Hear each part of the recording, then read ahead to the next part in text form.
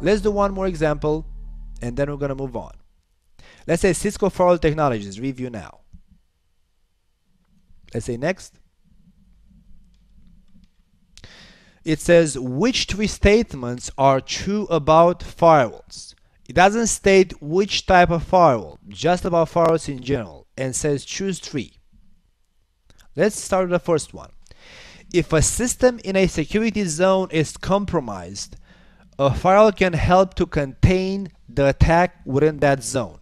That is a correct answer because that's the scope of zoning.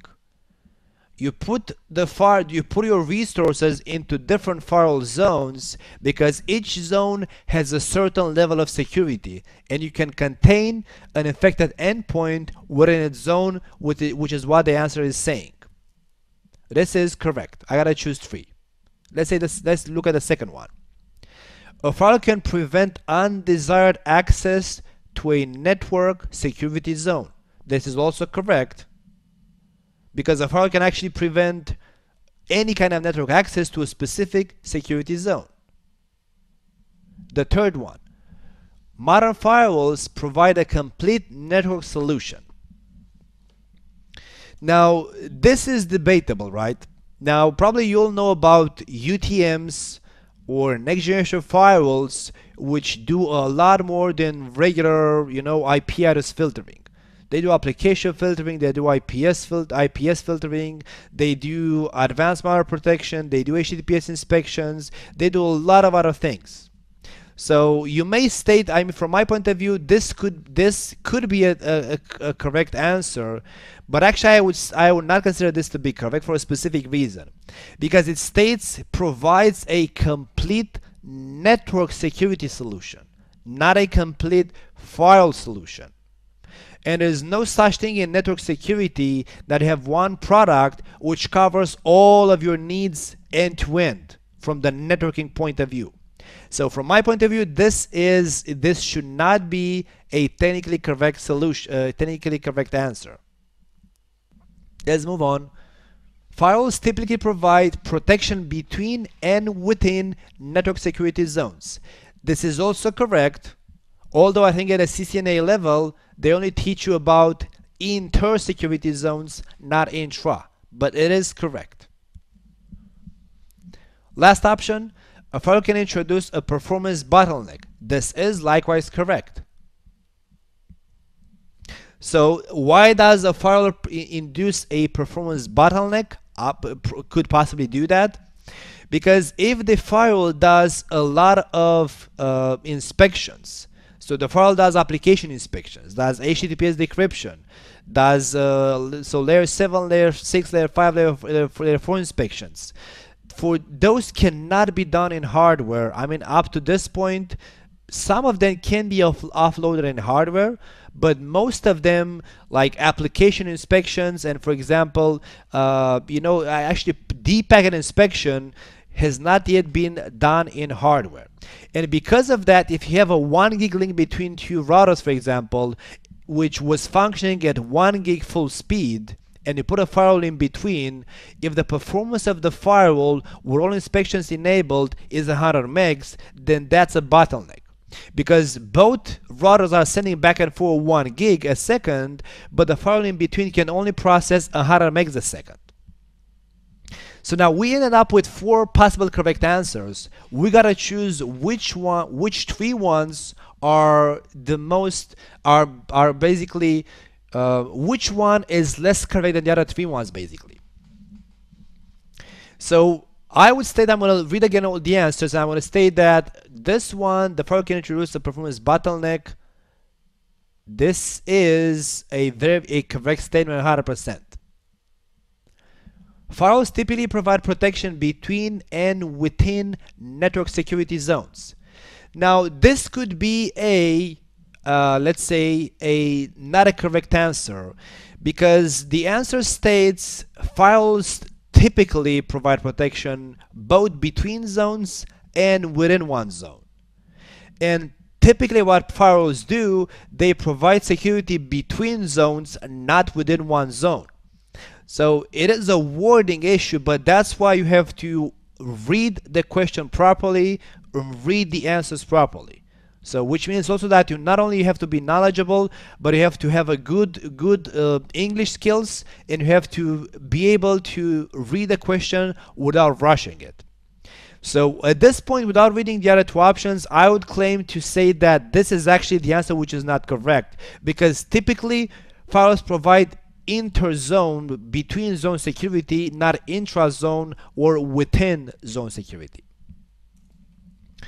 Let's read the other two, two answers. And yeah, the second option was a firewall can prevent undesired access to a security zone. That is correct as well, because that's one of the reasons that why deploy firewalls to be able that mm, I give only restricted access to certain regions of the network. And A, if a system in a security zone is compromised, a firewall can help to contain the attack within that zone. That is correct. So I'm going to state now at this point that although also option number D it is correct, in my case it's not because typically firewalls provide only interzone. So there you go. I would say that this is not correct as well. So let's go ahead and pick up option A, option B, and option E. Say next. Then which three options describe stateful firewalls? So first of all, you gotta know what is the definition of a stateful firewall? What are the characteristics of the stateful firewall? And there's gonna be your answer. So let's read the, the options. They provide stateful inspection of applications that utilize a control channel and dynamically negotiated connection. So stateful inspection, it is correct because it's a stateful firewall of applications that utilize a control channel and dynamically negotiated connections. This is correct. Let's move on. So let's put a correct in there. Option number B. They recognize TCP protocol violations and drop offending packets. That's correct as well. Because they keep track of the TCP state of the session. They are the simplest types of firewalls. Now this is wrong. Let me actually put green for correct and red for wrong. So first one looks correct, second one looks correct, third one looks wrong because the simplest types of firewalls are not the stateful ones. We're going to speak about those in the technology section. Option number D, like packet filters, they use ACLs and increment hit counters on ACL entries packet by packet. That depends, but it is also correct. Let's see if we end up with multiple multiple correct options. Next option, they require special coding on a per application basis. Not sure what they mean because indeed if they if you want them to recognize application they have to implement application recognition somehow. I would tend, tend to say that for the moment this is not correct because the application of recognition is not the definition of a stateful firewall necessarily. A stateful firewall may or may, may not be able to identify the applications. The next one, they store data about sessions in a state table and use that data to make access control decisions. That is likewise correct. Because that's how they keep track of the sessions of the packets flowing back and forward by keeping a state of the packet in what is called a state table. So I gotta choose three out of those four. So let's see which one seems to be less correct than the other ones. Let's look at again the options. So I would state that clearly the last one is 100% correct because that is the one of the main definitions of a stateful firewall. They keep track of the sessions in the state table. They store data about sessions in a state table and use that to make access control decisions further. The first one, they provide stateful inspection of applications that utilize the control channel and dynamic negotiated connections. This is correct, the first one, but the one of the three basically if, if the question is describe three options which three options describe stateful firewalls I should pick up the three which best describes what a stateful firewall is which the first one is not exactly a description of a stateful firewall is more of a uh, one of the possible features that a stateful firewall can have because it doesn't mean that a stateful firewall has to be able to identify protocols, applications that have multiple channels, a control plane session and a data plane session. Let's see the second option. They recognize TCP protocol violations and drop offending packets. That is that this should be okay. And let's see between A and D which one I'm going to choose as being correct. Like packet filters, they use ACLs and increment hit counters on ACLs entries packet by packet. This is wrong because it's not necessarily that they increment hit counters on ACL packet by packet, especially to enhance performance. So I'm going to state in this case that basically um, I'm going to choose option B, option E, and option A or this one where they require special coding on a per application basis. So let's think which one is better is a better answer. I'm going to choose option A. So let's choose option A. Option B and option E. Which of the following statements is true about zone-based policy firewall? So first you gotta know what zone-based policy firewall is and minimum details about how it works to be able to answer the question. So first answer is applies firewall policies to traffic that traverses zones. That is correct. Although it also does that for uh, actually, it is actually a, a, correct answer because it doesn't state which type of, which type of zone. So it is a correct answer. B says interzone policies enable you to apply different inspection policies to multiple host groups that are connected to the same router interface. So interzone to apply different inspection policies to groups to multiple host groups that are connected to the same router interface. This is wrong because if those hosts are connected to the same router interface, that's intrazone, not interzone. So you should be able to know that this is a wrong is a wrong option just by reading what it says because the basically the the explanation doesn't make sense.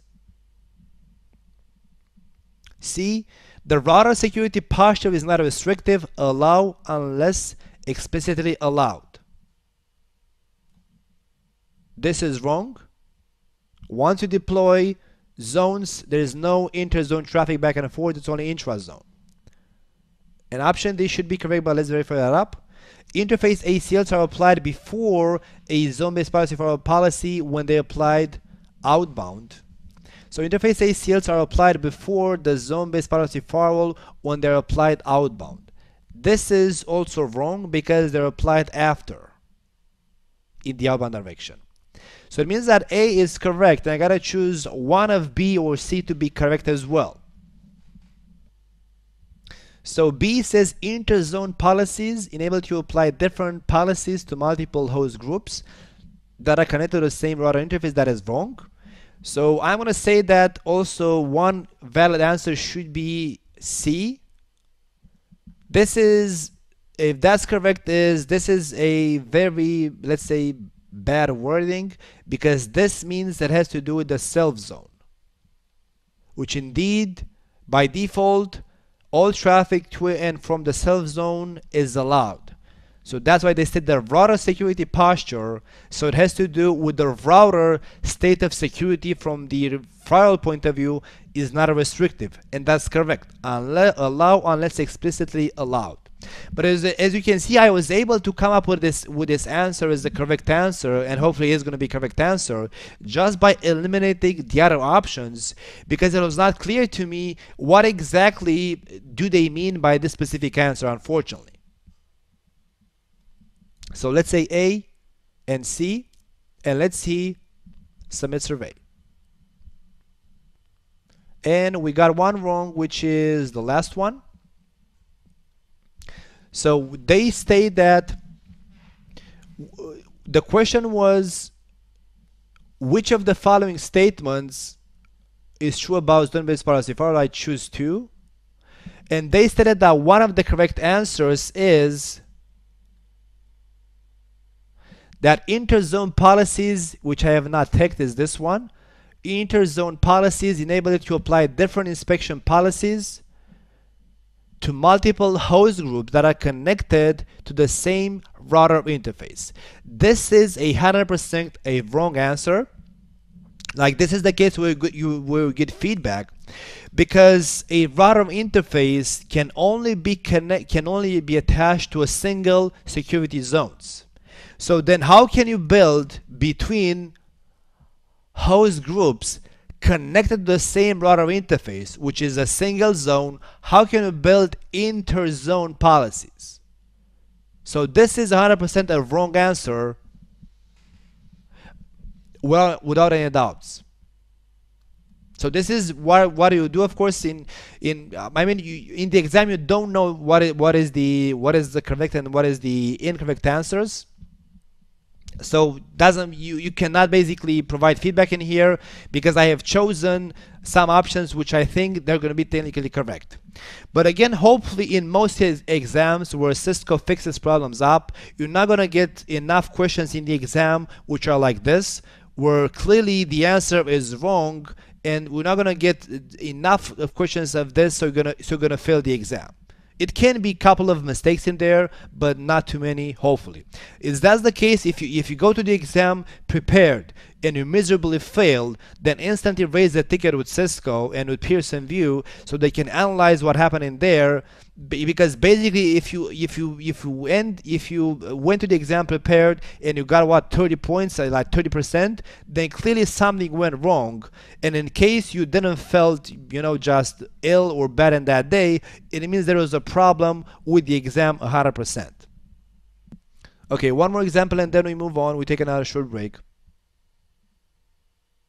So let's look at the practice and let's see which ones haven't touched yet Let's take, for example, the IPS. Next one, and then we're going to move on. Let's say next. So log monitoring and correlation intrusion prevention systems and surveillance cameras are examples of which type of countermeasure. So this is just a generic question basically it gives you certain security solutions.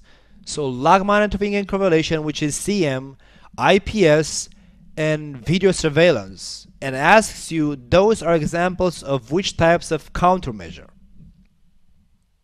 And then the options are recovery, that is 100% not correct, corrective, 100% not correct, detective, and that is correct deterrent should be, from my point of view, not correct. Because basically the IP, the surveillance camera detects, you know, monitors whatever happens within the environment. IPS, IPS prevents, but also it detects at the same time. So it prevents attacks from happening by detecting them as they happen and stopping them. And then SIEM does the same thing. And deterrent basically shouldn't be the answer so let's choose up detective and click next.